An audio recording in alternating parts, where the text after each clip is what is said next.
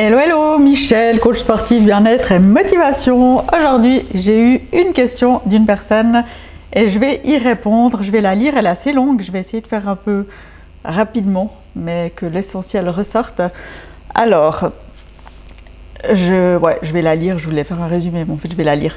Je suis régulière dans le sport avec diverses activités, yoga, renfo, marche, un peu de course à pied et de la natation. En renforcement, je varie régulièrement les charges, les intensités et les types. Elle explique aussi qu'elle a bah, des légères douleurs aux pieds, temps, donc en fait, euh, bah, elle marche un peu moins et puis elle laisse reposer pour que la, tension elle baisse. Et côté alimentation, j'ai l'impression de bien faire quand je contrôle, c'est-à-dire de ne pas m'envoyer de plaques de chocolat en deux jours, voire moins. Quand ça arrive, ce n'est pas juste une fois, mais toute la semaine. Pas trop sucré le matin, plutôt des protéines.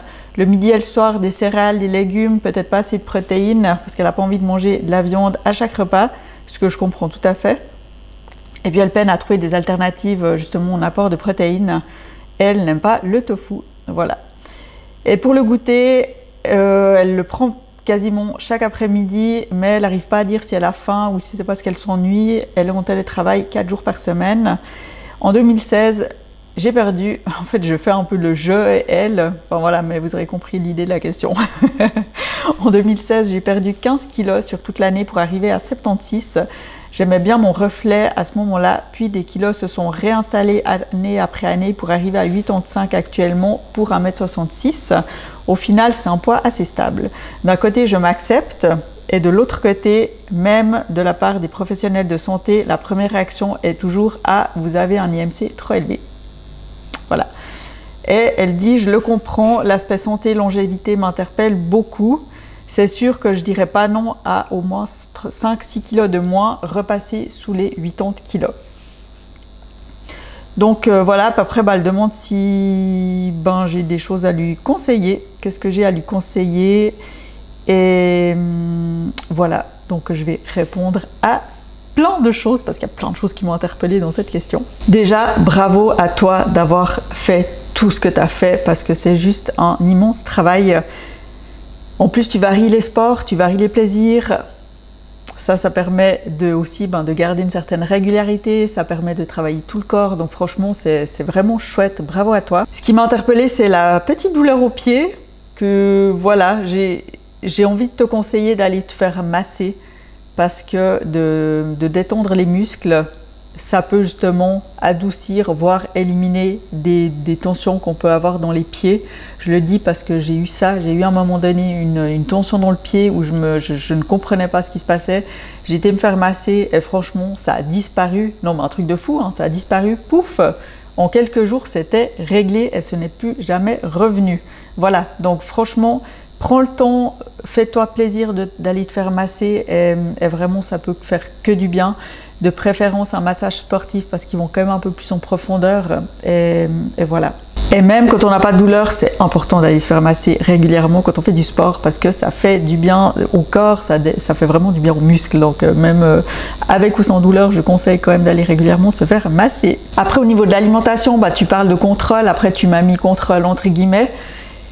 Et j'ai envie de te demander, ben, pourquoi pas plutôt t'écouter au lieu de contrôler. Après, je sais que s'écouter, c'est pas toujours évident. Pourquoi est-ce que tu as envie de ce chocolat de temps en temps et, de, pouvoir euh, bah, comprendre en fait, de pouvoir, euh, de pouvoir être attentive au déclencheur euh, de ça? Qu'est-ce qui déclenche le fait que tout d'un coup, tu as envie de manger du chocolat?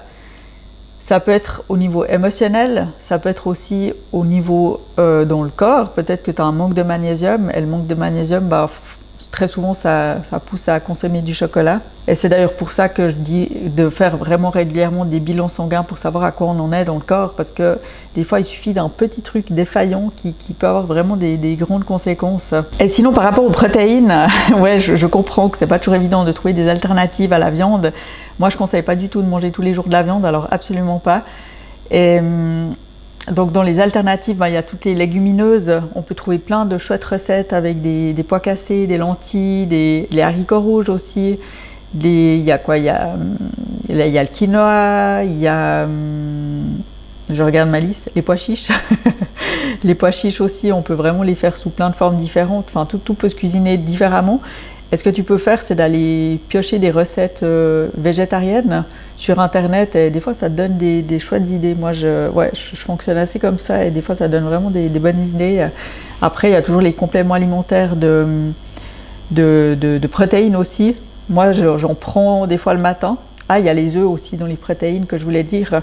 J'en prends des fois le matin, ça dépend ce que je mange le matin. Mais quand le matin, je ne mange pas forcément des protéines, et eh ben en fait, je prends, je mets de la poudre de, c'est de la poudre de pois, de riz et de chanvre que je mets dans, mon, dans, mon, dans mes flocons d'avoine. Et, et, voilà, puis ça me fait un apport en protéines. C'est vraiment la seule euh, chose que je prends en complémentation au niveau protéines, sinon le reste, je fais tout avec l'alimentation et même je ne prends pas chaque jour cette poudre de protéines, c'est vraiment occasionnel. Et sinon, par rapport au goûter, tu as de la peine à faire la différence entre est-ce que tu manges parce que tu as faim, est-ce que tu manges parce que, parce que tu t'ennuies?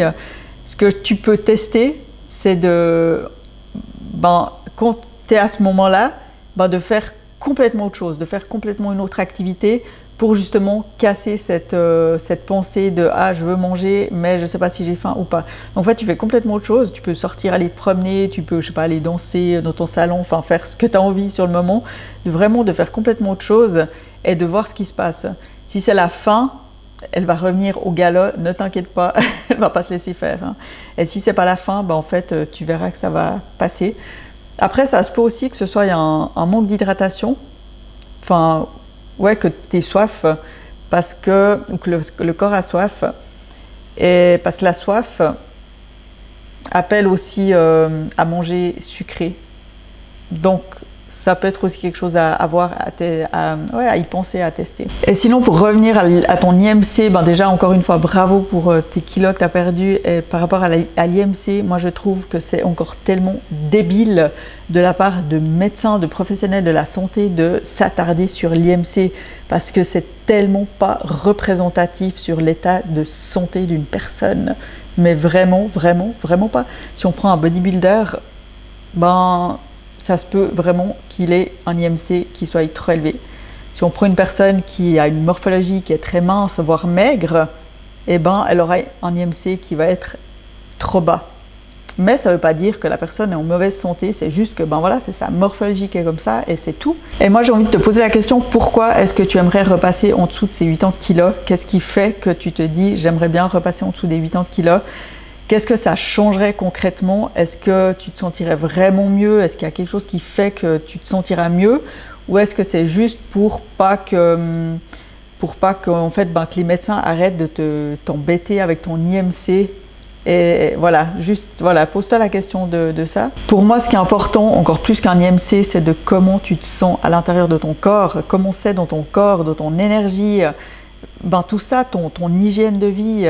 Et c'est pour ça que ben, je parle souvent de, bilan sanguin, parce que ben, ça, ça peut être un facteur. Tu peux avoir un IMC parfait, selon les critères des médecins, et puis être en mauvaise santé, parce que ton bilan sanguin est mauvais, parce qu'il y a des défaillances. Et c'est pas un IMC qui peut décider de si tu es en bonne santé ou non. Moi, j'ai envie de te dire de te faire confiance par rapport à tes ressentis, par rapport à ton poids, parce que si tu dis que tu es bien à 80 kg avec l'énergie, la tonicité que, que tu as, parce que tu as quand même de la tonicité étant donné le sport, toute l'activité physique que tu fais, ben, tu vas vers une longévité, tu vas, vers, tu vas, tu vas vivre longtemps, on ne sait pas, hein, mais, mais tu as quand même des, voilà, tout, tout qui est là pour que tu puisses aller vers une longue longévité. Je ne sais pas si ça se dit, mais je le dis quand même, une longue longévité, oui, je crois que ça se dit et, ouais, une, une bonne santé. Et que c'est pas parce que tu as 80 kg pour 1m66 ou 85 kg pour 1m66 que tu es en train de détruire ta vie, de détruire ta santé. Après, tu as aussi mentionné un dérèglement hormonal. Je pense que ça peut être intéressant de voir avec une personne qui est compétente, mais vraiment compétente, bienveillante dans ce domaine-là, et qui puisse ben, t'aiguiller euh, là-dedans et de voir qu'est-ce qui peut influencer ta situation actuelle et qu'est-ce que tu pourrais mettre en place de différent pour peut-être aller euh, changer d'autres paramètres. Donc voilà, j'espère que c'était clair tout ce que j'ai dit. Des fois, j'ai l'impression de m'en mêler un peu dans mes explications. Mais dans tous les cas, j'espère que tu vas pouvoir trouver des pistes, des petites, euh, choses qui peuvent t'aider. Et voilà. Mais merci beaucoup pour ta question. Et puis, bah, j'espère que ça a pu aider d'autres personnes aussi. Et vraiment, je reviens sur l'IMC, ça c'est le truc qui m'a choqué, enfin qui m'a choqué, qui m'a marqué dans, ta question. C'est l'IMC et de l'interprétation qu'on en fait. Alors là, je ne suis pas du tout, du tout, du tout, du tout d'accord avec ça, avec voilà ce que les, les c'est pas tous, mais les, personnes euh, qui travaillent dans la santé en fond de cette IMC. C'est juste erroné, enfin ça, ne fonctionne pas du tout. Et il y a d'autres moyens bien plus intéressants et bien plus euh, mieux, vraiment mieux pour montrer, démontrer si une personne est en bonne santé ou pas qu'un IMC. Voilà, je m'arrête là. Et moi, je vous dis à bientôt.